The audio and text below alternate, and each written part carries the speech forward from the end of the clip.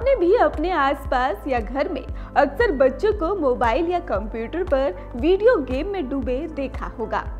आजकल की भाग दौड़ वाली लाइफ में ज़्यादातर माँ बाप भी अपनी जान छुड़ाने के लिए, अपने बच्चों को वीडियो गेम्स या फिर मोबाइल में ऑनलाइन गेम खेलने के लिए बिज़ी रखते हैं, ताकि वो सुकून से अपना काम कर सके।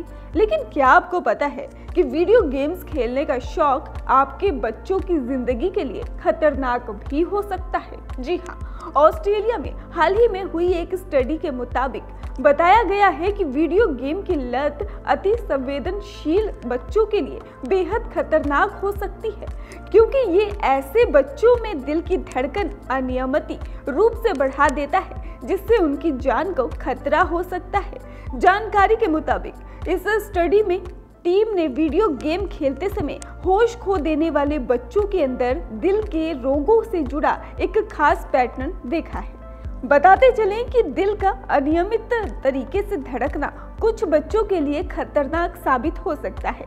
ये उनके लिए जानलेवा है। बताया जा रहा है कि गेमिंग के दौरान अचानक होश खोने वाले बच्चों के माँ बाप को उनके दिल की धड़कन की जाँच करानी चाहिए, क्योंकि ये दिल की गंभीर बीमारी का पहला संकेत हो सकता है।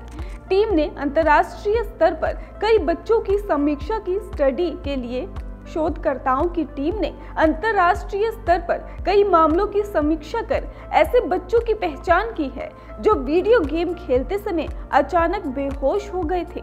इस दौरान 22 मामले ऐसे मिले जिनमें बच्चे मल्टीप्लेयर वॉर गेमिंग खेल रहे थे।